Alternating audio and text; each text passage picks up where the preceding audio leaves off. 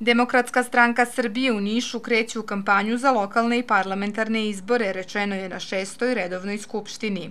Odustajanje od Evropske unije, okretanje sobstvenim resursima neki su od narednih ciljeva. Današnja Skupština Demokratska stranka Srbije započinje proces predizborne kampanje za nove lokalne, a verujemo i parlamentarne izbore. Parlamentarne izbore.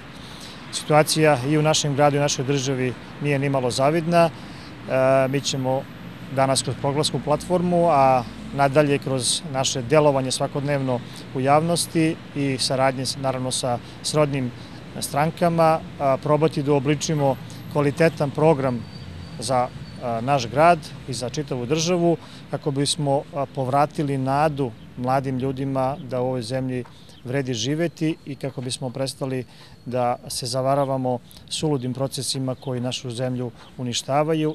Na Skupštini su izabrani i ljudi koji će voditi gradski odbor i opštinske odbore.